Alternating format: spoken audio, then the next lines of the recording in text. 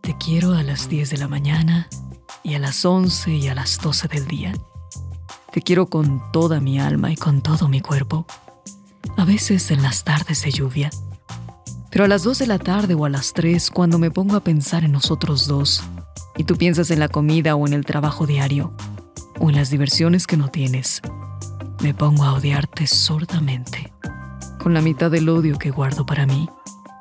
Luego vuelvo a quererte cuando nos acostamos y siento que estás hecha para mí, que de algún modo me lo dicen tu rodilla y tu vientre, que mis manos me convencen de ello y que no hay otro lugar en donde yo vaya o venga mejor que tu cuerpo. Tú vienes toda entera a mi encuentro y los dos desaparecemos un instante. Nos metemos en la boca de Dios hasta que yo te digo que tengo hambre o sueño todos los días te quiero y te odio irremediablemente. Y hay días también, hay horas, en que no te conozco, en que me eres ajena como la mujer de otro. Me preocupan los hombres, me preocupo yo, me distraen mis penas.